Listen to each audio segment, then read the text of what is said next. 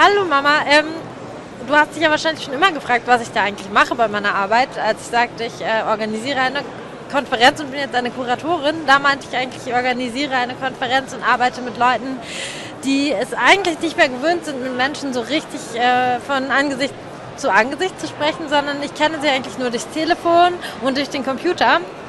Ich habe ein halbes Jahr damit verbracht, äh, Sachen einzusammeln, von denen wie zum Beispiel Fotos und äh, Lebensläufe und was sie eigentlich genau machen. Und oft wussten sie es auch selber nicht so. Und ähm, man fühlte sich tatsächlich selber wie eine Mama, weil man musste sie oft anrufen und fragen, was sie denn jetzt gerade machen, ob sie vergessen haben, was sie einem versprochen haben vor einem halben Jahr.